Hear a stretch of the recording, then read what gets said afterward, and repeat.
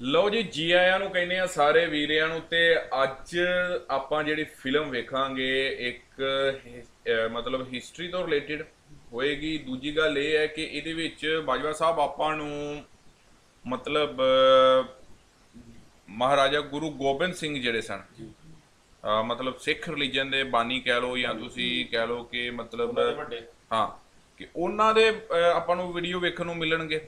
ਉਹਨਾਂ ਦੀ ਲਾਈਫ ਦੇ ਬਾਰੇ ਚ ਆਪਾਂ ਨੂੰ ਪਤਾ ਲੱਗੇਗਾ ਦੂਸਰਾ ਮੁਗਲਾਂ ਦਾ ਜਿਹੜਾ ਦੌਰ ਸੀ ਵਜ਼ੀਰ ਖਾਨ ਦਾ ਜਿਹੜਾ ਇੱਕ ਬੜਾ ਮਤਲਬ ਕਹਿ ਲਓ ਕਿ ਜ਼ਾਲਮਾਨਾ ਦੌਰ ਸੀ। ਉਹਦੇ ਮਤਲਬ ਆਪਾਂ ਨੂੰ ਉਹਦੇ ਬਾਰੇ ਪਤਾ ਲੱਗੇਗਾ ਕਿ ਉਹ ਕੀ ਮਤਲਬ ਚੰਨ ਜਿਹੜੇ ਸਨ ਉਹਨੇ ਚਾੜੇ ਸਨ ਕੀ ਗੁੱਲ ਖਲਾਂਦਾ ਰਿਹਾ।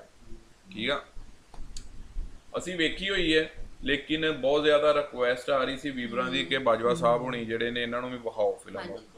ਸਾਨੂੰ ਖੁਦ ਹੀ ਕਿਉਰਿਸ ਅਸੀਂ ਤਾਂ ਕਿ ਅਸੀਂ ਵੇਖੀਏ ਮੂਵੀ ਨਾ। ਔਰ ਇਸ ਫਿਲਮ ਵੇਖਣ ਨਾਲ ਤੁਹਾਨੂੰ ਕੀ ਫਾਇਦਾ ਹੋਣਾ ਹੈ ਕਿ ਤੁਹਾਨੂੰ ਅੱਗੇ ਆਉਣ ਵਾਲੇ ਜਿੰਨੇ ਵੀ ਤੁਸੀਂ ਵੀਡੀਓ ਪੰਜਾਬੀ ਹਿਸਟਰੀ ਉਹਦੇ ਤੇ ਰਿਐਕਸ਼ਨ ਦਿਓਗੇ ਨਾ ਤੁਹਾਨੂੰ ਇੱਥੋਂ ਬੜੀ ਹੈਲਪ ਹੋਣੀ ਹੈ। ਕਿਉਂ? ਤੁਹਾਨੂੰ ਇੱਕ ਆਈਡੀਆ ਹੋ ਜਾਣਾ ਹਿਸਟਰੀ ਤੁਹਾਡੇ 'ਚ ਪਹਿਲੀ ਇੱਕ ਇਮੇਜ ਹੋਏਗੀ ਕਿ ਯਾਰ ਹਾਂ ਉਦੋਂ ਇੰਜ ਹੋਇਆ ਸੀ ਮਤਲਬ ਕੋਈ ਗਾਣਾ ਆ ਰਿਹਾ ਉਹਨਾਂ ਤੋਂ ਮਤਲਬ ਰਿਲੀਜੀਅਸ ਜਾਂ ਕਹਿ ਲਓ ਕਿ ਉਹਨਾਂ ਤੋਂ ਰਿਲੇਟਡ ਯਾਨੀ ਇਹਨੂੰ ਆਪਾਂ ਪਿਲਰ ਕਹਿ ਸਕਦੇ ਹਾਂ ਹਾਂ। ਸਿੱਖ ਹਿਸਟਰੀ ਦਾ। ਬਸ ਬਿਲਕੁਲ ਇਦਾਂ ਬਿਲਕੁਲ ਐਵੇਂ ਹੀ ਹੈ। ਔਰ ਦਸਵੇਂ ਕਿਉਂਕਿ ਗੁਰੂ ਸਾਹਿਬ ਬਾਜ਼ੂਕਾਤ ਬੜੇ ਗਾਣਿਆਂ ਦੇ ਵਿੱਚੋਂ ਬਾਜ਼ਾਂ ਵਾਲੇ ਦਾ ਨਾਮ ਲੈਂਦੇ ਨੇ ਗੁਰੂ ਗੋਬਿੰਦ ਗੁਰੂ ਗੋਬਿੰਦ ਸਿੰਘ ਜਿਹੜੇ ਸਨ ਉਹ ਦਸਵੇਂ ਗੁਰੂ ਸਨ। ਸਿੱਖ ਰਿਲੀਜਨ ਦੇ ਔਰ ਜਿਹੜੀ ਉਹਨਾਂ ਦੀ ਗੁਰੂ ਗ੍ਰੰਥ ਸਾਹਿਬ ਹੈ ਉਹਨੂੰ 11ਵਾਂ ਗੁਰੂ ਮੰਨਦੇ ਨੇ ਆਪਣਾ। ਜਿਹੜੀ ਉਹਨਾਂ ਦੀ ਬੁੱਕ ਹੈ ਹੋਲੀ ਬੁੱਕ ਜਿਹੜੀ ਹੈ। ਚਲੋ ਬਾਕੀ ਆਪਾਂ ਫਿਲਮ ਵੇਖਾਂਗੇ ਤੇ ਬਾਜਵਾ ਸਾਹਿਬ ਉਹਨਾਂ ਨੂੰ ਹੋਰ ਵੀ ਕਲੀਅਰ ਹੋ ਜਾਏਗਾ ਮਤਲਬ ਔਰ ਵੀਡੀਓ ਦੇ ਵਿੱਚ ਬਹੁਤ ਕੁਝ ਹੈ ਜਿਹੜਾ ਆਪਾਂ ਨੂੰ ਵੇਖਣ ਨੂੰ ਮਿਲੇਗਾ। ਤੇ ਓਮਪੁਰੀ ਨੇ ਡੱਬਿੰਗ ਕੀਤੀ ਹੋਈ ਹੈ ਮਤਲਬ ਇਹਦੀ ਜਿਹੜੀ ਇੱਕ ਸਟੋਰੀ ਸੁਣਾਣਗੇ ਨਾ ਉਹਦੇ ਵਿੱਚ ਓਮਪੁਰੀ ਦੀ ਆਵਾਜ਼ ਤੁਹਾਨੂੰ ਵੇ- ਸੁਣਨ ਨੂੰ ਮਿਲੇਗੀ ਅੱਛੀ ਆਵਾਜ਼ ਹੈ ਪੂਰੀ ਡਿਫਰੈਂਟ ਆਵਾਜ਼ ਕਰੀਏ ਫਿਰ ਸਟਾਰਟ ਚਲੋ ਜੀ ਪਹਿਲਾ ਪਾਰਟ ਆਪਾਂ ਵੇਖਦੇ ਹਾਂ ਤੇ ਸ਼ੁਰੂ ਕਰਦੇ ਹਾਂ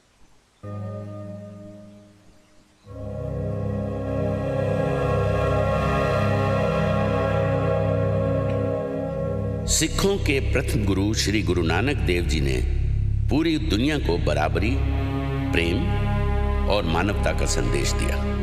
वो हर धर्म को समान समझते थे। पर इसके विपरीत तुर्क और मुगल हमलावर खुद को सर्वश्रेष्ठ समझते थे। वो दोनों हाथों से मुल्क को लूट रहे थे और तलवार को मज़हब की जबान बना पूरे हिंदुस्तान पर अपना परचम फहराना चाहते थे। बेरोक टोक लूटमार और मार काट के इस दौर में धर्म परिवर्तन से घबराकर कश्मीरी पंडित गुरु तेग बहादुर के पास मदद मांगने पहुँचे। तब आठ साल की छोटी उम्र में ही गुरु गोविंद सिंह ने कश्मीरी पंडितों के पक्ष में आवाज़ उठाकर अपने गुरु पिता को इस जुल्म के खिलाफ लड़ने की प्रार्थना की। पिता गुरु तेग बहादुर ने जुल्म का सामना किया और जब मानव अधिकार शब्द भी ईजाद नहीं हुआ था, कश्मीरी पंडितों की रक्षा के लिए अपना जीवन बलिदान कर दिया। शीश कटा दिया, पर झुकाया नहीं। पर इसके बाद भी धर्म परिवर्तन का ये जुल्म थमा नहीं। दशमेश पिता की जवानी के साथ साथ ही इस जुल्म के खिलाफ लड़ने का जज्बा भी जवान हो गया। उन्होंने अपने विचारों से, अज्ञान के अंधकार को और अपनी तलवार से अन्याय को मिटाने का फैसला लिया। श्री अनंतपुर साहब में खालसा पंथ की स्थापना की और पूरी मुगलिया हुकूमत को झंझोड़ के रख दिया। लोगों के हक, सच और धर्म की आज़ादी के लिए उन्होंने अपना सब कुछ कुर्बान कर दिया। अपने चार साहबजादे भी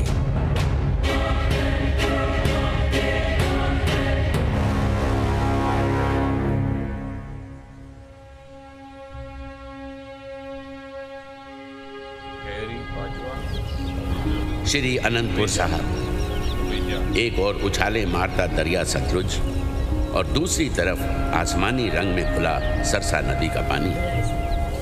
रंग बिरंगी हरी भरी वादी की गोद में गुरुजी के चारों साहबजादे हँसते खेलते बड़े हुए। वो नगाड़े की चोट पर खुली हवा में उड़ते और लोग देखते रह जाते।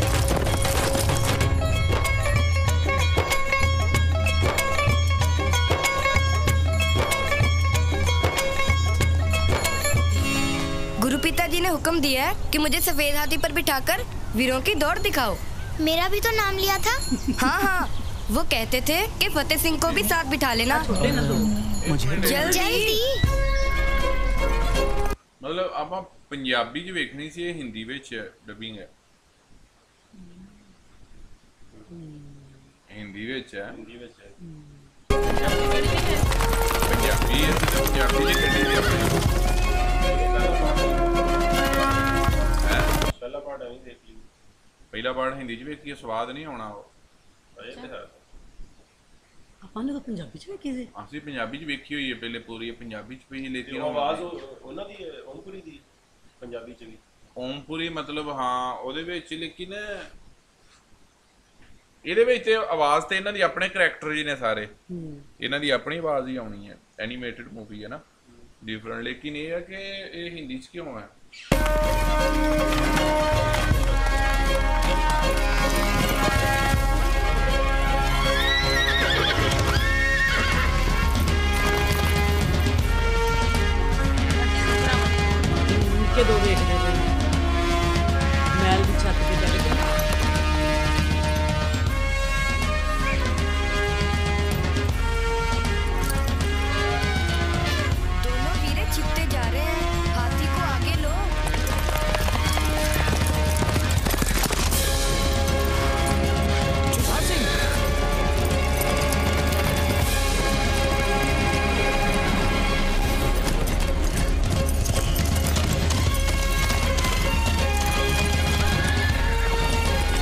ਕਰਨੀ ਪੰਜਾਬੀ ਚ? ਲੱਭੀਏ? ਚਲੋ ਜੀ ਪੰਜਾਬੀ ਚ ਲੱਭ ਕੇ ਇੱਥੋਂ ਹੀ ਸ਼ੁਰੂ ਕਰਨੇ ਆ। ਉਹ ਆਂਦੇ ਨਾ ਲੱਭਣ ਨਾਲ ਜਿਹੜਾ ਰੱਬ ਵੀ ਲੱਭ ਜਾਂਦਾ। ਅਸੀਂ ਵੀ ਲੱਭ ਲਈ ਹੈ ਪੰਜਾਬੀ ਅੱਗੇ ਗਲਤ ਖੁੱਲ ਗਈ ਸੀ ਤੇ ਉਹ ਹਿੰਦੀ ਸੀ ਆ ਪੰਜਾਬੀ। ਸਿੰਘ!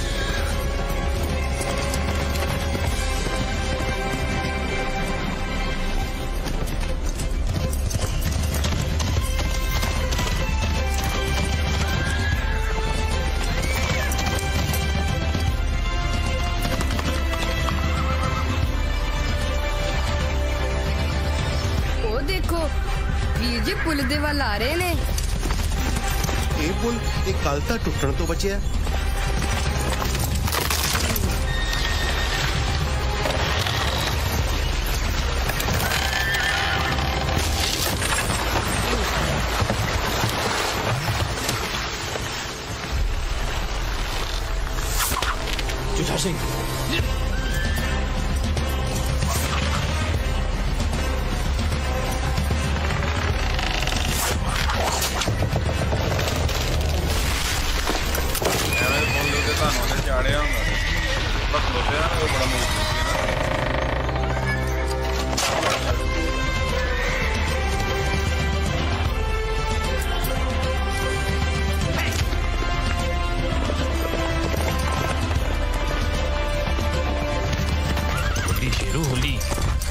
पर छोटे वीर तो अकेले निकला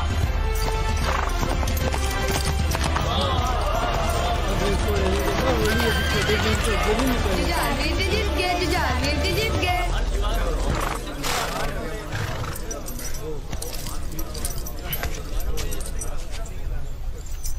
ਗੁਲਾਬ ਸਿੰਘ ਜੀ ਹੁਣ ਸਾਨੂੰ ਥੱਲੇ ਉਤਾਰੋ ਇਹ ਹੁਕਮ ਤਾਂ ਗੁਰੂ ਸਾਹਿਬ ਨੇ ਮੈਨੂੰ ਨਹੀਂ ਦਿੱਤਾ ਸੀ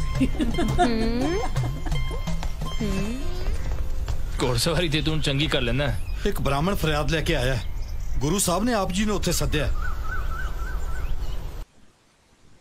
ਦ ਸਮਾਰਟ ਸਕੂਲ ਬਾਤਾਂ ਵਾਲੇ ਮਤਲਬ ਐਸੇ ਕਰਕੇ ਹੇ ਦਸ਼ਮੇਸ਼ ਪਿਤਾ ਮੈਂ ਬੜੇ ਕੋਲ ਜਾ ਕੇ ਫਰਿਆਦ ਕੀਤੀ ਪਰ ਕਿਸੇ ਨੇ ਮੇਰੀ ਬਾਹ ਨਹੀਂ ਫੜੀ।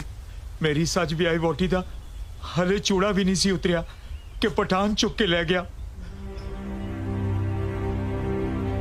ਹੁਣ ਤਾਂ ਤੁਸੀਂ ਮੇਰੀ ਮਦਦ ਕਰ ਸਕਦੇ ਹੋ। ਦਸ਼ਮੇਸ਼ ਪਿਤਾ ਦੇ ਦਰਬਾਰ ਚੋਂ ਕਦੇ ਵੀ ਕੋਈ ਫਰਿਆਦੀ ਖਾਲੀ ਹੱਥ ਨਹੀਂ ਮੁੜਿਆ। ਜੋ ਹੁਕਮ ਗੁਰੂ ਪਿਤਾ।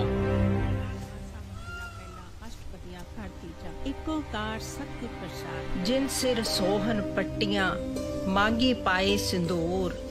ਸੇ ਸਿਰ ਕਾਤੀ ਮੁੰਨੀਅਨ ਗਲ ਵਿੱਚ ਆਵੇ ਧੂੜ।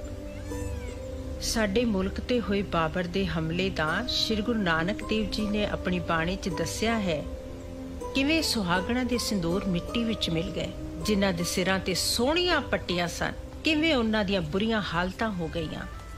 ਲੋਕਾਂ ਦੇ ਦਰਦ ਨੂੰ ਆਪਣੇ ਦਿਲ ਵਿੱਚ ਸਮੋ ਕੇ ਗੁਰੂ ਸਾਹਿਬ ਨੇ ਬਾਬਰ ਨੂੰ ਕਿਹਾ ਸੀ ਕਿ ਇੰਨਾ ਕੁਝ ਵੇਖ ਕੇ ਵੀ ਤੈ ਕੀ ਦਰਦ ਨਾ ਆਇਆ। ਦਾਦੀ ਮਾਂ, ਇੰਨਾ ਜ਼ਾਲਮ ਸੀ ਬਾਬਰ। ਉਹਦੇ ਰਾਜ ਚ ਲੋਕੀ ਐਨੇ ਦੁਖੀ ਸੀ। ਆ ਜਿਹੜਾ ਦਿੱਲੀ ਦੇ ਤਖਤ ਤੇ ਬੈਠਾ ਹੈ ਇਹਦੇ ਰਾਜ 'ਚ ਕਿਹੜਾ ਕੋਈ ਸੁਖੀ ਹੈ?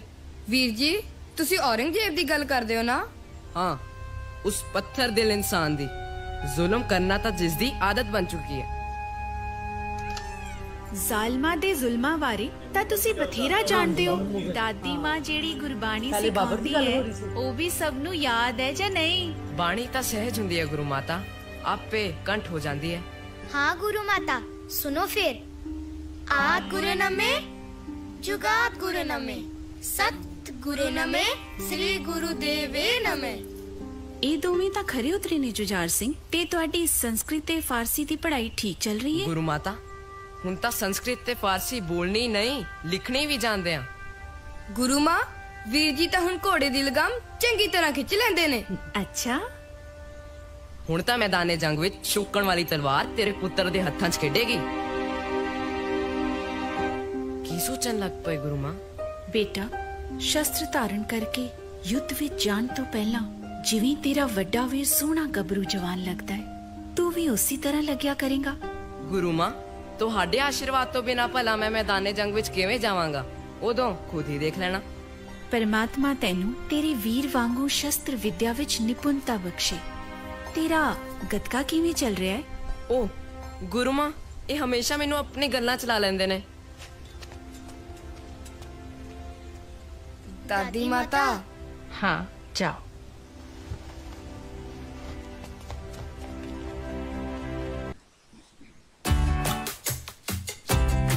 ਲਓ ਜੀ ਪਹਿਲਾ ਪਾਰਟ ਜਿਹੜਾ ਹੈ ਆਪਾਂ ਵੇਖ ਲਿਆ ਚਾਰ ਸਾਹਿਬਜ਼ਾਦੇ ਦਾ ਤੇ ਫਿਲਮ ਜਿਹੜੀ ਹੈ ਉਹ ਤਕਰੀਬਨ ਸ਼ੁਰੂ ਹੋ ਗਈ ਹੈ ਤੇ ਦੂਜਾ ਪਾਰਟ ਵੇਖਣੇ ਆਪਾਂ ਇੱਥੋਂ ਹੀ ਦੇਰ ਨਹੀਂ ਕਰਵਾਉਣੀ ਤੇ ਚਲੀਏ ਦੂਜੇ ਪਾਰਟ ਵੱਲ। ਮੈਂ ਇੱਕ ਕਾਲ ਲੈ ਲਾਂ ਤੇ ਨਾਲੇ ਆਪਾਂ ਉਨੀ ਦੇਰ ਦੂਜਾ ਪਾਰਟ ਸ਼ੁਰੂ ਕਰੀਏ।